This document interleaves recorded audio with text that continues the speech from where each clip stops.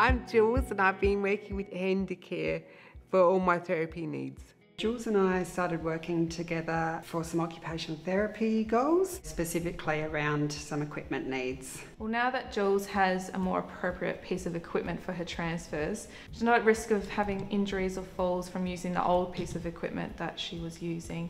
Really great working as a team for Jules so that we can share knowledge with each other and um, to really work out how to best meet her needs with the expertise of each of the team members. They're a very helpful uh, team of people, are very dedicated to what they do